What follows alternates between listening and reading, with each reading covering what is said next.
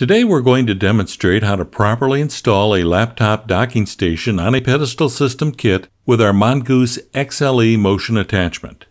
To see how we install the pedestal system, please reference our pedestal installation video entitled 2020 Plus Ford PIU Pedestal Kit.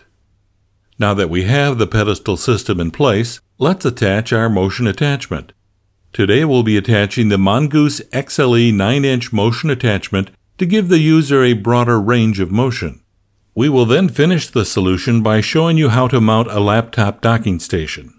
Start by simply removing the 3 8 hex bolts from the top plate of the upper pole and removing it. Then attach the Mongoose XLE to the smiley face hole pattern using the provided hardware. Reattach the top plate with the Mongoose XLE onto the upper pole.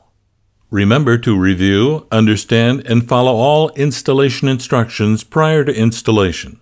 Next, attach the laptop docking station to the clevis on the Mongoose XLE using four 1 quarter by 20 half inch long hex head bolts and four lock washers. Complete the installation by attaching all cables to the docking station. Zip tie each cable to the strain relief feature on the docking station. Properly route the cables and then connect to power. To learn more about solutions in this video or to explore our full product offering, visit our website at gamberjohnson.com.